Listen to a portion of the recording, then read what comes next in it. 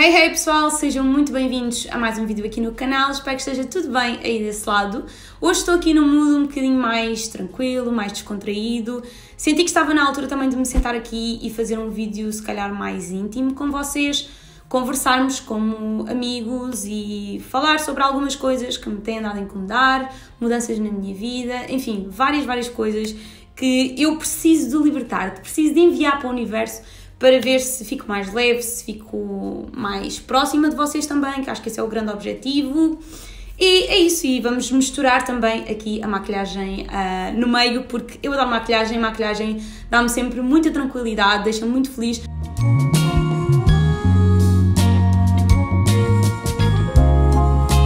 Vocês virem algum fumo a surgir aqui no nosso vídeo, eu peço imensa desculpa, mas é que eu pus incenso a queimar. Hoje estava com muita vontade, estava no mood de pôr um belo incenso a queimar e sentar-me aqui e conversar, ficar mesmo super tranquila aqui com vocês. Portanto, se vocês virem alguma coisa, já sabem, é porque eu tenho incenso a queimar. Tenho aqui comigo então as coisinhas que eu mais tenho utilizado, que trouxe de casa, e vamos então começar. Assim, primeiras coisas que eu queria falar com vocês é relativamente à própria internet. Eu nem sei muito bem como é que eu hei de tocar neste assunto sem ser demasiado indelicada, porque eu não quero ser indelicada com ninguém e sinto que ultimamente a internet tem sido um poço, mas assim um poço de coisas estranhas, nem é tanto negativo, é mesmo estranho. Em muitos, muitos anos que estou no YouTube, eu nunca vi esta agressividade todas estas críticas, que nem são críticas construtivas, mas sim coisas destrutivas, que são mesmo para incomodar as pessoas, para deixar as pessoas mal.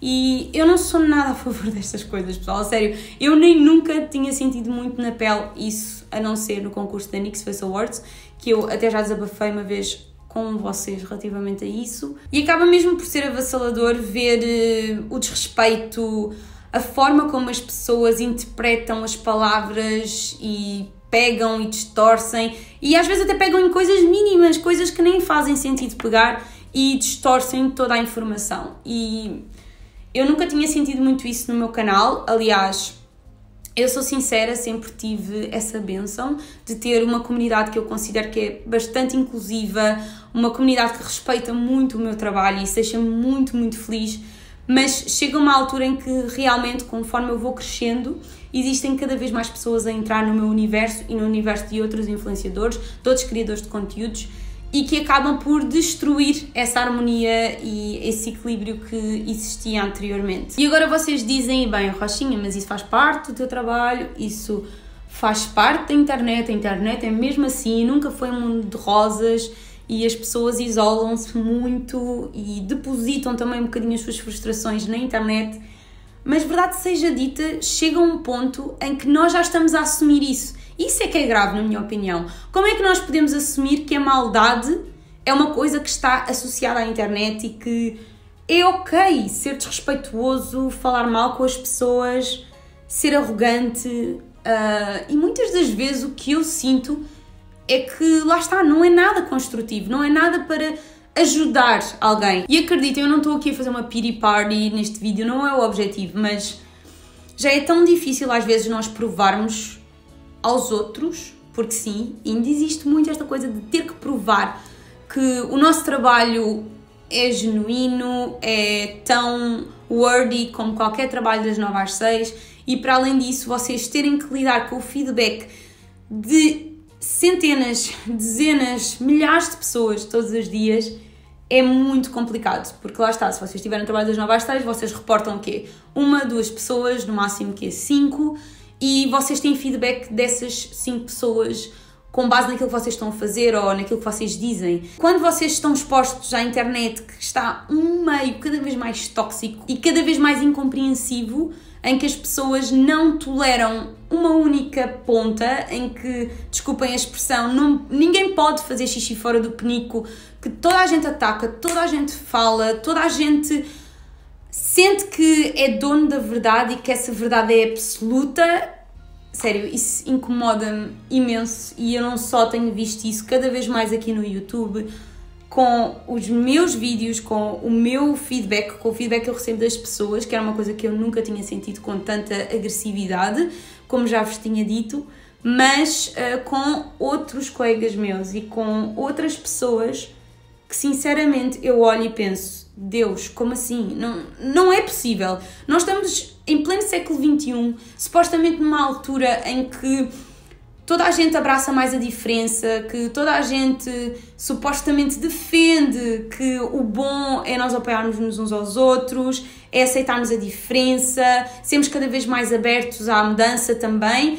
E eu sinto que nós na internet estamos a caminhar um bocadinho ao contrário, parece que nada pode ser genuíno, nada pode ser orgânico, porque cada vez que alguém fala, que alguém diz alguma coisa, toda a gente cai em cima, porque se não for o politicamente correto, já, já não está bom, já não, já não faz sentido. E o que acontece cada vez mais é que as pessoas esquecem-se que quem expõe uh, o seu trabalho, a sua vida, o seu dia a dia na internet é tão ou mais humano que vocês e por isso toda a gente tem sentimentos, toda a gente obviamente olha para as coisas e lê e vê e isso tem influência e impacto.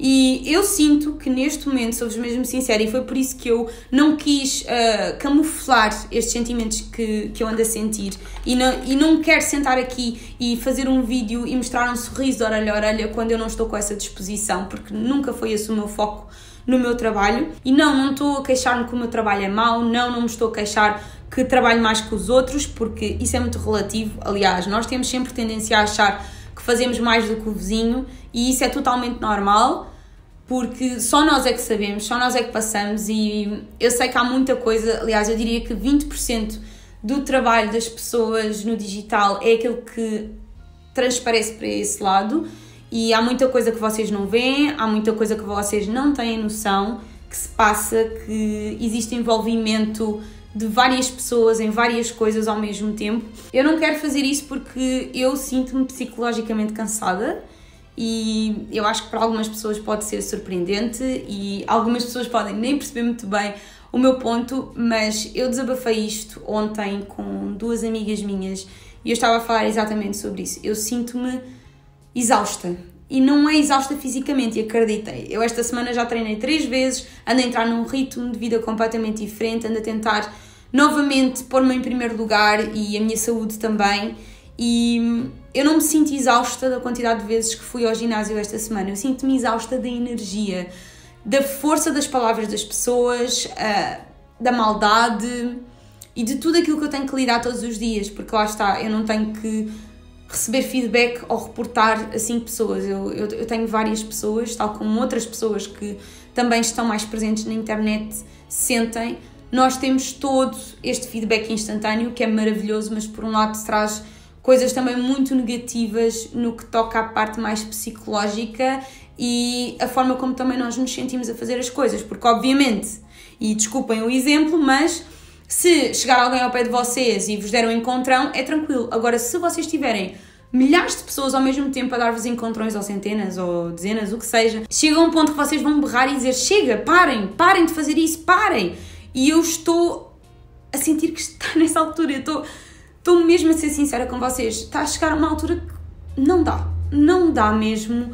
E eu talvez seja mais sensível, não sei, mas uh, chega um ponto que eu tenho que dizer basta. E a forma de eu dizer basta, e é por isso que eu também queria falar com vocês, é eu vou começar a bloquear pessoas. Desculpem, mas eu não admito que entrem pessoas na minha casa, no meu trabalho, que conheçam a minha vida, a parte da minha vida que eu mostro, que remete mais ao meu trabalho e àquilo que eu gosto, e haja um desrespeito, uma falta de brio por parte de quem está do outro lado e comenta e não pensa que nós somos humanos. Uh, isso vai começar a acontecer e portanto não fiquem surpreendidos porque se vocês forem uma dessas pessoas eu não vos quero em minha casa, eu não vos quero perto do meu trabalho porque como vocês sabem e já me seguem há algum tempo algumas pessoas me podem seguir aqui há algum tempo, um, eu acredito muito em energia e acredito muito que aquilo que as pessoas me dizem ou aquilo que me é passado através do feedback do meu trabalho também influencia muito aquilo que eu sou e aquilo que eu canalizo. E portanto está a chegar a uma altura em que eu já não vou admitir mais que as pessoas mexam a esse ponto com a minha energia. Portanto, eu tento sempre levar os comentários menos bons com leveza, respondo, sou divertida na, na, forma como respondo e muitas das vezes eu recebo um feedback até bastante positivo a seguir, de pessoas que dizem, ah, Rochinha, desculpa, hoje não estava num dia bom, se calhar foi um bocadinho exagerado, se calhar não sei o quê, ou então entram na brincadeira e a coisa fica leve, mas há pessoas que simplesmente não respeitam isso e acham-se no direito de simplesmente ser maus só porque sim e dizer-me coisas absolutamente ridículas, sem nexo sequer, que me incomodam e realmente mexem muito com a minha energia. Portanto, a partir de hoje, vocês já sabem, seja aqui no YouTube, seja no Instagram, seja onde for, eu não vou permitir mais e não vou tolerar mais esse tipo de comportamentos porque isto para mim é muito especial. Isto para mim é não só o meu trabalho, mas é uma grande paixão para mim e eu sinto que a partir do momento em que eu estou a perder essa organicidade, em que eu não vou poder dizer as coisas que sinto e que realmente quero passar, está tudo estragado, porque eu não vou ser feliz a fazer isso e eu não quero de todo de deixar de ser feliz e de ter a drive e ter a motivação que tenho todos os dias para me sentar aqui e trabalhar e ser cada vez melhor por pessoas que realmente eu nem sequer ter. Eu, eu juro-vos, eu preferia 10 mil vezes ter metade dos seguidores que eu tenho e ter seguidores que realmente entendem a minha essência e realmente querem estar aqui porque gostam de mim genuinamente do que ter meia dúzia deles ou sei lá, metade de seguidores que só estão aqui para rebaixar, para ser maus, para puxar para baixo. Eu, eu não tolero e não gosto e já acho que já disse tudo o que tinha a dizer, sinceramente, relativamente a este assunto e eu queria mesmo dizer-vos isto porque acho que é importante vocês também terem esse feedback. Porque para mim, e acho que já defendi isto algumas vezes em, em vídeos meus, para mim, ignorar nunca é a solução. E eu sinceramente sinto que quando as pessoas não têm esse brilho, nós temos que falar, nós temos que comunicar com vocês. Porque tal como comunicamos as coisas boas e aquilo que sentimos e as nossas experiências e tudo mais, também há que comunicar quando nos sentimos incomodados, quando nos sentimos tristes, quando nos sentimos abalados. E eu estou assim, eu estou nesse momento assim e vou uh, começar a ter esta, esta política, diria, para tornar tudo mais justo e para também eu continuar a fazer o trabalho que eu tenho consciência que faço e que faço bem. Uh, e relativamente ao vídeo que eu lancei na terça-feira, desde já muito obrigada, eu tive imenso feedback, realmente tive a noção que há coisas que mais vale uh, esperar e ter tempo, porque eu naquele vídeo não tive muito tempo para editá-lo Sou sincera, tinha outras coisas para fazer nesse dia e acabei por gravar um bocadinho acima do joelho porque atrapalhei-me com coisas na segunda-feira e terça-feira realmente lancei um vídeo que não me orgulho uh, na forma como editei, na forma como pus as coisas e eu não estou a falar, obviamente, de, dos vídeos desta semana apenas. Eu, este feedback que vos dei agora foi relativamente a muita coisa que eu tenho sentido no último mês aqui no YouTube e também no Instagram, etc. Portanto, yeah, eh, desde já, muito, muito obrigada a toda a gente que deixa sempre um feedback construtivo. Eu não peço que deixem sempre feedback positivo e que me digam todos os dias que eu sou linda, que sou maravilhosa, porque esse não é o meu objetivo. O meu objetivo é que as pessoas gostem e que eu consiga entreter e consiga desligar um bocadinho as pessoas da realidade que nem sempre é assim tão boa e também trazer coisas que vos façam pensar e que vos façam refletir acerca de assuntos que eu acho que são importantes serem mencionados.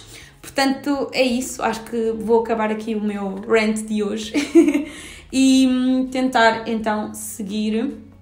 E eu queria mesmo, mesmo deixar esta, esta mensagem às pessoas que foram super queridas e, acima de tudo, que souberam ver que eu não estive bem, que me corrigiram e cá estou eu mais um dia para tentar fazer o bem, para tentar fazer o meu melhor e acho que isso é que realmente importa, é se falharmos, temos a consciência que falhamos e estamos aqui e amanhã é um dia novo, amanhã é mais um dia para provarmos que podemos ser melhores e que conseguimos fazer melhor e eu fico muito, muito contente genuinamente de ter um feedback construtivo e maravilhoso no meu canal também, uh, tirando esses pequenos incidentes que têm acontecido, não só comigo, mas com outras pessoas aqui na internet. Entretanto, pus-me aqui no Parlapier e apliquei o corretor errado. Eu queria aplicar este da infallible, mas não estou diferente. Aquele que eu utilizo é para corrigir assim alguma manchinha ou alguma coisa que esteja na pele, porque é o tom exato da minha base, mas neste caso corrigi aqui abaixo dos olhos com um tom bem mais escuro, portanto eu vou passar novamente corretor, desta vez o certo.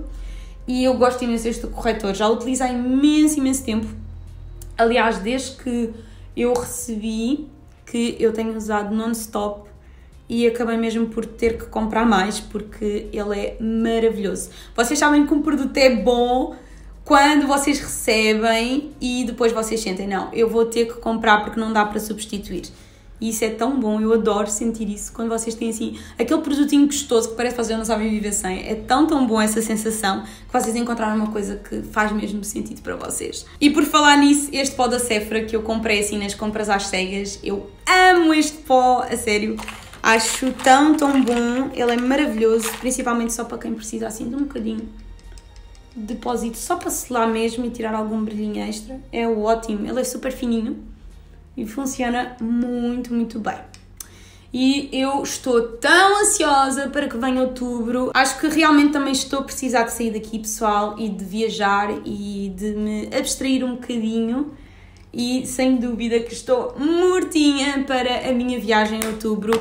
Vai ser um destino que eu e o Tomás já há muito, muito tempo ansiávamos ir, portanto vamos os dois e eu estou, sério, eu estou arrepiada só de pensar porque é um dos nossos destinos de sonho enquanto casal, nós queríamos muito fazer esta viagem juntos e vamos fazer agora em outubro, vamos estar duas semanas fora e vai ser uh, fora da União Europeia, portanto eu estou super feliz, vamos para um sítio assim bem, bem longe, se vocês estiverem com palpites, deixem nos comentários abaixo que destino é que vocês acham que nós vamos, mas eu estou mesmo muito contente e acho que vai ser assim a concretização de um sonho. E na minha opinião, nada melhor do que nós sentirmos que estamos a conseguir concretizar aquilo que que desejamos e que também vamos colocando como objetivos de vida, fazer essas pequenas coisas. E eu estou super entusiasmada. O Tomás também está, o Tomás também já está louquinho para ir e estamos mesmo os dois a precisar. Esqueçam, ele é mesmo incrível. É um miúdo que me dá tanta força para continuar e que ele é tão esforçado do seu próprio trabalho que, sério, eu fico tão orgulhosa dele. Ele é mesmo fantástico e eu nunca vi ninguém idade dele. Ele tem 24 neste momento, sim. Com uma drive, com uma força de viver a vida dele e ser cada vez melhor de uma maneira, sério, que eu nunca vi ninguém assim.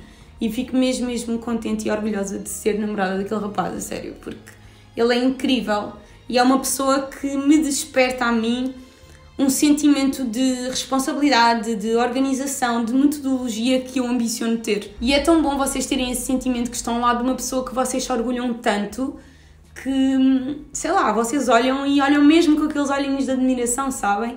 E eu tenho muito esse sentimento pelo Tomás.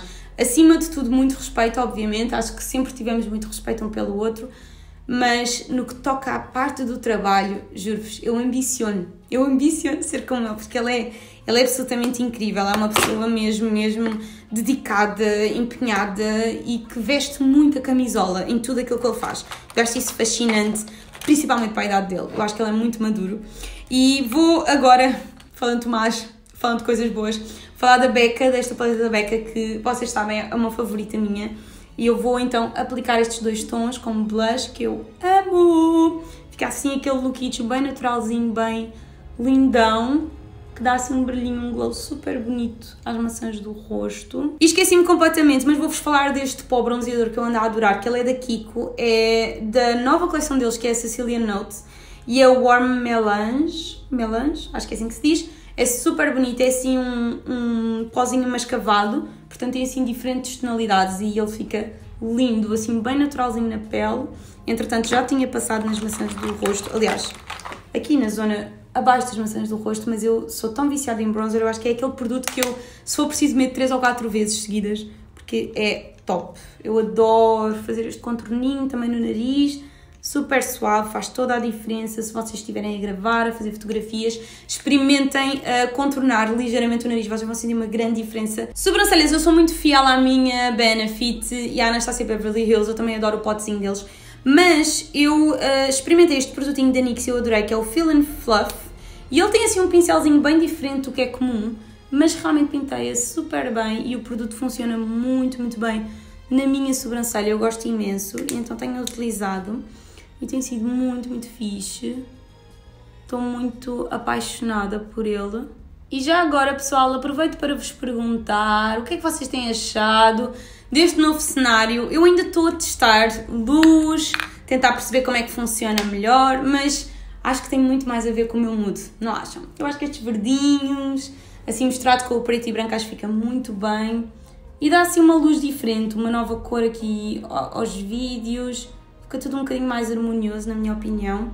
e eu senti que estava na hora de mudar aqui um bocadinho as coisas e acho que fiz muito bem, ficou assim bem bonitinho, mas estou ainda a testar cenários, a perceber como é que funciona. Hoje, por exemplo, demorei cerca de uma hora a tentar perceber como é que eu ia fazer a luz, como é que eu ia colocar as luzinhas e tudo mais. Portanto, digam-me aí nos comentários abaixo o que é que vocês acham. Se acham que eu poderia fazer as coisas também de uma maneira diferente, por favor, sintam-se completamente à vontade, porque hum, eu adoro receber o vosso feedback para também perceber um bocadinho melhor como é que eu posso fazer as coisas resultar de uma forma mais bonitinha para vocês. Até mesmo a nível de luz eu estou surpreendida porque eu normalmente sou aquela pessoa que só utilizo luz artificial nos meus vídeos e neste momento estou a utilizar a luz natural, portanto eu ando aqui mesmo a fazer um switch na minha vida a tentar perceber novas técnicas e novas coisas e claro que isso toma tempo e que também preciso de feedback para perceber se realmente faz a diferença ou não. Portanto, digam-me aí nos comentários o que é que vocês acham. E já temos as nossas sobrancelhas certinhas. As minhas sobrancelhas estão por fazer, portanto, eu sinto sempre quando elas estão por fazer que a coisa nunca corre assim tão bem. Fica assim mais ou menos, mas acho que até ficaram ligeiramente simétricas. Eu depois também tenho esta mania de levantar sempre uma sobrancelha mais que a outra. Enfim, nunca fui simétrica, jamais serei. Eu adoro aquelas pessoas que têm assim o rostinho completamente simétrico, que até parece que são desenhadas eu nunca fui dessas, pessoal, desculpem, lamento. Para sombra, vou utilizar aqui esta da L'Oreal, da coleção Havana da Camila Cabello. Eu não sei se dizer cabelo, cabelo, nunca sei muito bem pronunciar o nome dela, mas vou utilizar esta sombrinha só mesmo para dar aqui uma corzinha que eu hoje nem quero assim nada de especial no meu olho. Entretanto, podemos por favor falar de Elite, que eu estou assim de boca aberta com a segunda temporada de Elite. Eu nunca esperei que fosse tão bom, então eu fiquei tão surpreendida que nem queria acreditar que passou tão rápido. Sério, eu vi aquela série num ápice, ela está top. Acho que a segunda temporada consegue ser melhor que a primeira, não sei como é que eles fizeram isso, mas eu fiquei completamente rendida. Acho que está super bem construída a história. Não sabia muito bem como é que eles iam pegar nas coisas, sabem? Não tinha grande expectativa e acho que também foi por isso que fiquei tão surpreendida. Porque realmente a história está incrível e acho que a forma como acabou também dá ali asos para uma terceira temporada. Eu estou a votar nisso, Netflix. Eu estou a votar nisso porque eu gosto muito daquela série, é top. Aliás, se vocês tiverem sugestões de séries para mim, por favor, deixem aí em baixo porque está a chegar a um ponto em que eu só vejo RuPaul Drag Race all over again. Eu já perdi a conta da quantidade de vezes que eu já vi RuPaul Drag Race all over again. Eu estou sempre a ver as seasons todas, é, é mesmo aquele programa maravilhoso para vocês ficarem relaxados no vosso sofazinho, a curtir. Não pensam muito sobre o assunto, é uma série super fácil de assistir e para além disso deixa-me sempre com bom mood, é impressionante. Eu quando estou triste é o que eu faço. RuPaul Drag Race all the way. Estou a sentir muito esta sombrinha, portanto também vou pôr aqui em baixo. Já há muito tempo que não faço assim um look com sombrinha em baixo no dia a dia. Fiz em Eufória, mas não costumo muito fazer, sou sincera. Perdi um bocadinho esta tara pela pálpebra inferior, sou sincera. Eu antes fazia sempre e agora é uma coisa que cada vez faço menos, é, é cada vez menos recorrente. E por acaso eu com esta sombrinha estou a sentir que vai valer a pena para pôr a máscara também aqui nas pestanas inferiores. Eu hoje vou abortar a pestana falsa, vou apenas ficar assim com a minha pestana Aliás, eu tenho 4 kg de cola ainda nas pestanas porque estive a fazer os 3 looks de euforia, então colei naquele dia para aí 4 ou 5 vezes pestanas falsas nos meus olhos, então a cola ainda está aqui meio que a hibernar. Se vocês tiverem alguma dica para mim de como tirar melhor a cola das pestanas, eu agradeço, porque eu sou uma nódoa a tirar a cola daqui das pestanas e depois fica aqui e eu não consigo não arrancar pestanas e tirar a cola, portanto se tiverem alguma dica útil, eu agradeço. E estou a passar este iluminadorzinho super bonito da paleta da Bequita também. E vou agora pôr um batonzinho. Eu acho que até vou utilizar o gloss da Fenty. Vou usar esta combinação que é o, hum, lápis da NYX que eu tenho utilizado muito. Nem este, este é demasiado claro. É o outro que eu tenho aqui. Onde é que tu andas? Está aqui o tom que eu ando a utilizar que é o Rosé the Day. Ele é super bonito. Eu tenho o batom também e eu gosto imenso do lápis, que ele tem uma consistência maravilhosa. Vou só buscar o batom que está na minha mala para colocar. É exatamente a mesma cor do lápis, portanto eu já venho. Aqui está ele, é o Rosé the Day mais uma vez. Ele é assim, este batomzinho assim de bala, mas ele é, é sequinho, com efeito mate e dura muito tempo. Nos lábios fica bem bonitão. É o nude perfeito, na minha opinião, para mim, porque ele não fica demasiado claro, portanto encaixa super bem no meu tom de pele e vou aproveitar até para aplicar o gloss da Anastasia Beverly Hills, que é o que eu tenho utilizado. Eu tenho utilizado muito esta combinação e tinha ali também dentro da mala. Portanto, é isso que eu vou fazer. Aplicar então aqui este amiguinho. Cabelicho pronto, portanto vamos dar como finalizado o vídeo de hoje. espero que vocês tenham gostado. Eu não sei muito bem como é que este vídeo vai ficar, sinceramente, porque eu disse tanta coisa que ao mesmo tempo já nem sei se o meu discurso foi coerente ou não, portanto, uh, vejam como um desabafo. Não me levem muito a sério uh, a minha estrutura do vídeo, por assim dizer. A verdade é que eu nunca tenho guiões para os meus vídeos e tudo aquilo que me sai é natural e eu sei que sou um bocado troca-tintas, troco muitas vezes palavras, significados, etc. Portanto, se eu cometi alguns desses erros, peço desculpa, eu sou a pior, mas também sou a primeira a admitir que eu sou péssima. Construção frásica nunca foi comigo. Aliás, eu tenho aqui uma meia dislexia, nunca fui muito boa a construir as frases, a distinguir a direita da esquerda. Trocava as letras, vocês para terem noção, eu o S em Inês, eu fazia um Z em vez de um S, portanto é uma coisa que já nasceu comigo e eu aprendi de certa forma a aceitar-me assim. Eu tento sempre melhorar, mas nem sempre sai perfeito, obviamente. Principalmente quando a coisa é orgânica e fluida. Portanto, de qualquer das maneiras, desculpem mais uma vez esta conversa toda, mas vou então eh, despedir-me de vocês. Um grande, grande beijinho, pessoal. Fiquem bem e vamos aliviar os ares aqui pela internet. Façam a vossa parte. Acho que toda a gente está a tentar melhorar e não piorar. Portanto, próxima vez que pensarem em fazer alguma coisa, pensem que o universo está a ver e que tudo aquilo que vocês semeiam, também vão colher. Daí, mesmo que ninguém esteja a ver aquilo que vocês estão a fazer, fica na vossa consciência. As vossas atitudes, a forma como vocês querem viver a vida, se querem viver à base do positivo e não do negativo, sejam aquilo que vocês uh, gostariam uh, de ter. Não se esqueçam disso. Um grande, grande beijinho e vemo-nos no próximo vídeo. Tchau!